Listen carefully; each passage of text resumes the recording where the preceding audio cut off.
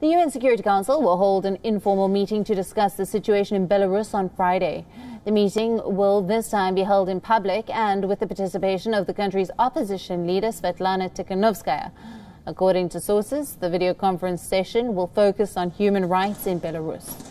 The country, which has been shaken by almost three weeks of protests against its president, cracked down hard on the news media on Saturday. Now, some foreign journalists reporting in the country were deported, and the accreditation of many Belarusian journalists was revoked.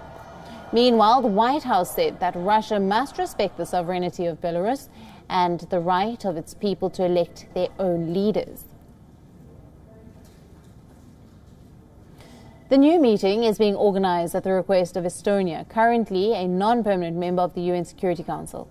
It will be informal and its format allows members of the Security Council not to take part. Several Security Council members, such as China and Russia, view the Belarus situation as an internal matter and argue that they do not pose a threat to the international order and therefore should not be addressed by the UN Security Council.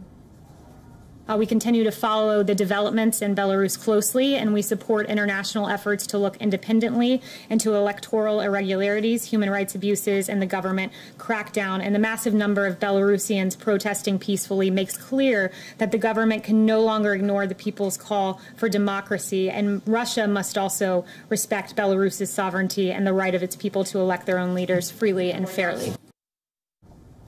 Hundreds of thousands of protesters have rallied on the streets to demand the resignation of President Alexander Lukashenko, whom they accuse of rigging the August presidential elections. Lukashenko won the elections by a landslide of 80% over his primary challenger, Svetlana Tikhanovskaya. Now, Lukashenko has shown no sign of bowing to the protests, and he has denied the rigging allegations of any rigging of elections.